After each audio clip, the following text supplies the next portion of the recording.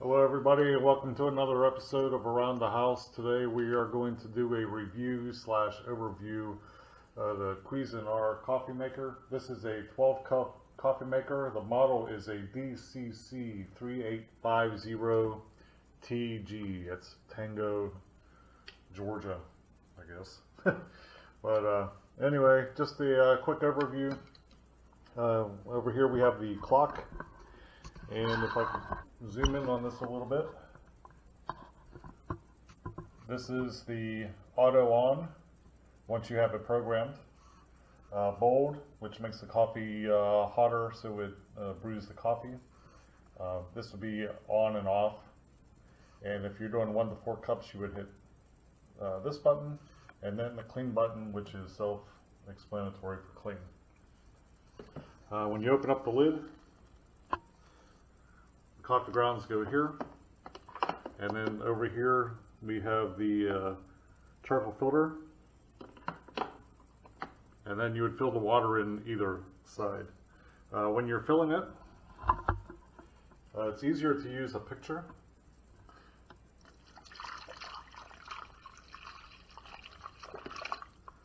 And let me go around to the other side as I do this because it's a, a, a little bit tricky holding the camera and doing this at the same time.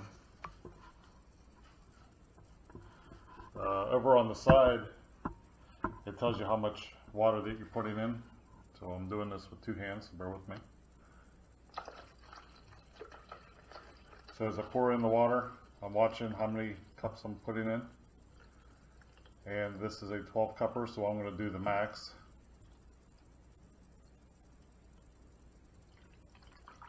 And then we are at 12 cups.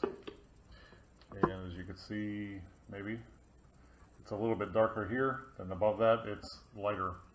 Uh, but you can see it pretty well without the camera. Uh, using the camera, not so much.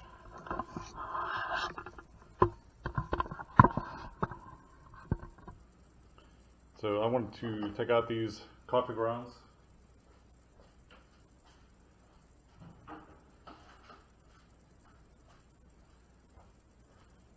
guess I wasn't prepared as much as I thought I was. Uh, this is a number four filter that this takes. And then this has to be all the way down in place. Uh, then you put the metal carafe in, and the reason why I wanted this coffee pot is because of the metal carafe. Uh, it tends to keep the coffee hotter. I took a temperature of it earlier today, and after about five hours of after uh, brewing a cup of coffee, um, the coffee came out of the carafe at uh, about 120 degrees. So the time on here right now is 154. So I'm going to turn the coffee pot on, and whenever you turn anything on, the blue light would come on. So if you do the auto, the blue light would come on on auto. Uh, if you had the bold light on, uh, the bold light would be on and so on. So that's uh, one minute or uh, 155 on the clock right now. So I'll go ahead and fast forward this and when the coffee pot is done, I'll start it back up and you'll see how long it took to brew the coffee. I'll do the temperature of uh, the coffee uh, after it is done. Uh, one thing that I did notice uh, in the directions, it, it, comes with a scoop, and you're supposed to use one scoop which uh, per cup. So if you have a 12 cupper, you need uh, 12 scoops. And that just seemed like a lot of coffee. My old coffee pot, I did one scoop for every two cups of coffee. Um, that was a 10 cupper. So I'd use uh, 5 scoops for 10 cups. Now I have to use uh, 12 scoops for 12 cups. So definitely going through a lot more coffee. And I'm not sure I like that, nor do I know the reason why. Um, I'm almost thinking the way the filter was, maybe a little bit more narrow. Uh, and then on this coffee pot, uh, let me just lift this for one second as it's brewing.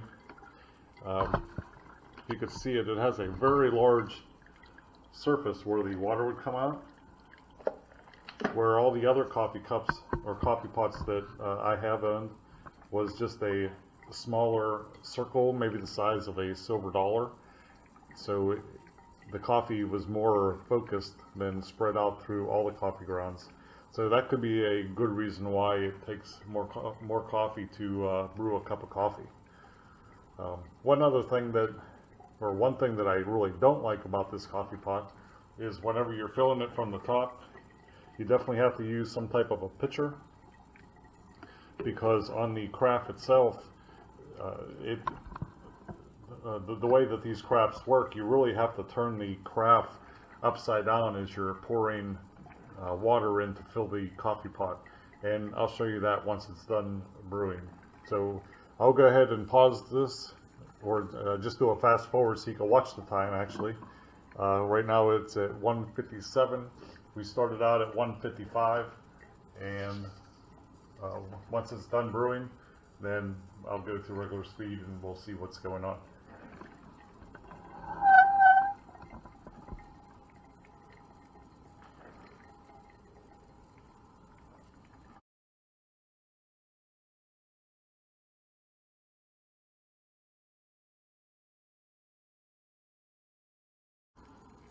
All right, just slow this down for a minute here. Uh, so we're five minutes into it, and we have seven and a half cups of coffee left to be brewed. So that's four and a half cups of coffee that uh, has already been brewed in five minutes.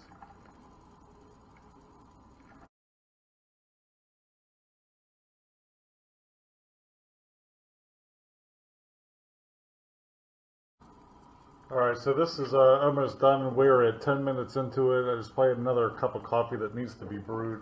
So while this is finishing up, uh, just take the camera back a little bit. Uh, the coffee filter that you need, oops, is the number four. It's called the cone style, which you know looks like this. Uh, the other coffee makers kind of have a uh, the uh, the flat bottom, but this takes the cone style and I touched base with the uh, uh, filter, the paper filter uh, has, has a special uh, insert where if you don't use the paper filter, you can put the coffee grounds into the screen. I've tried using these type of things before, but it tends to make a mess. It's hard to clean, get coffee grounds everywhere, so I don't ever use uh, that type of filter. Uh, the carafe itself, it's stainless steel and I'm going to take some measurements of this carafe as uh, uh, I open up the uh, lid to take a temperature setting of the, uh, the water because uh, I think that's an important part is how hot is the coffee. Uh, maybe later on down the road as the coffee pot gets older I'll take a temperature of how hot a, a, cup of coffee was brewed but I had this probably three weeks now and uh, it, it, does make very hot coffee. Uh, I use uh, milk in my coffee and uh, just a splash of milk, and it, definitely makes a hot cup of coffee. Uh, so once it's done, you could set it up to have a tone or no tone, and that's just by hitting this button right here. it's a button that says tone. So if you don't want the tone to wake anybody up if you're automatically making coffee, you could shut that off. So it, it's just about done. It's at uh, uh, 207. So it took uh, about 12 minutes, 11 and a half minutes or so to uh, make 12 cups of coffee. So it's about a minute a cup, uh, which is uh, fairly fast as it gets older. they don't work as efficiently as they do when they're brand new. So, all right, so I'll go ahead and take out the coffee cup or coffee pot. And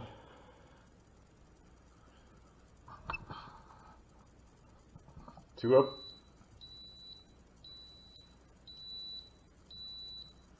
So that was the tone that says that the coffee is, is done. So to open up the carafe, you turn this and the lid comes off. And I will put in my thermometer to 160, 180,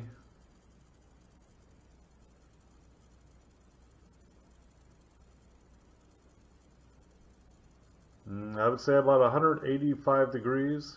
That's about just about done climbing.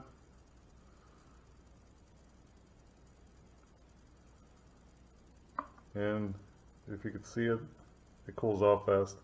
But uh, 108, it cools off fast when I pull it out of the carafe. But uh, 185 degrees, which is you know, very hot for uh, an instant coffee pot. So put the lid back on, put it on and you turn it clockwise and then the lid is secure again. Um, there's no closing the uh, coffee pot from pouring. Uh, the coffee will uh, pour into this area and then it'll feed through uh, down into here and that's where the coffee goes in. When you pour it, the coffee goes up here and then out here and then out the spout. So with that said, if you can imagine, let me get my tape measure, from here to here as you would normally pour, you're looking at about one and three quarter inches that you have to tilt the carafe to get the water out. And then after that, you got to get it, I don't know if you even see this hole, you got to get the water to here to pour out, to uh, pour a cup of coffee. So you can imagine whenever you start running low on coffee, when you get down to the last couple cups, you're actually uh, flipping the coffee pot uh, so much more. So if you compare it with a regular pitcher, where when you pour anything, it goes right to here, where if you're using this coffee pot, the actual hole is about an inch and a half, almost uh, inch and three quarters back. So you would really have to turn the coffee pot uh, a lot. So let me see if I could uh, set this up so you can see how it pours.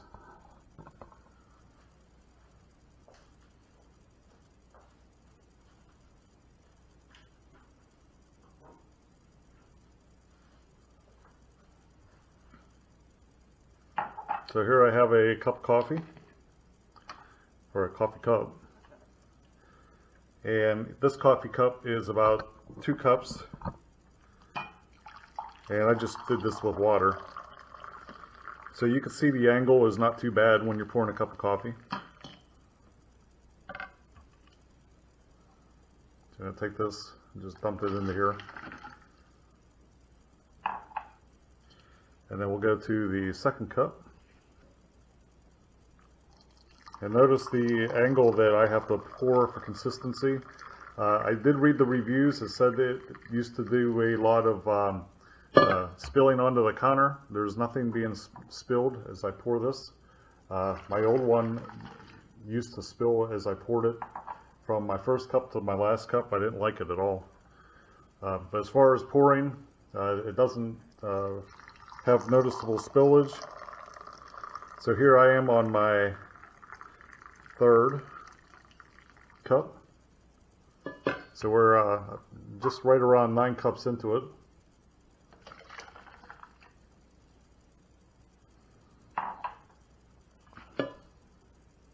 And notice the angle is getting steeper and steeper to pour a cup of coffee.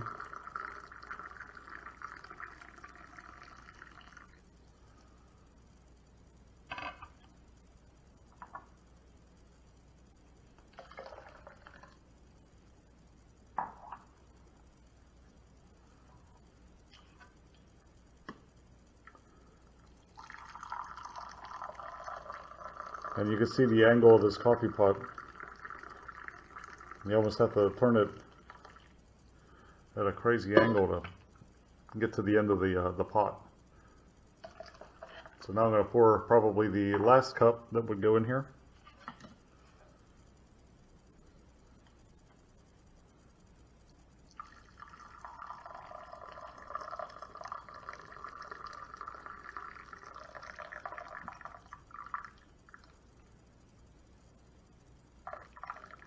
and then can still get a little bit more out, but almost upside down. It's really crazy the design, but maybe they do that because of the uh, carafe to keep the water, you know, the hottest the longest. So uh, that gets about all the coffee out of there that, that you can. And then uh, once again, to take the lid off, you turn it counterclockwise. You can still see there's coffee down at the bottom. Um, probably about a cup of coffee if, if I were to guess. And let me just see if I can pour the rest of that in there without the lid.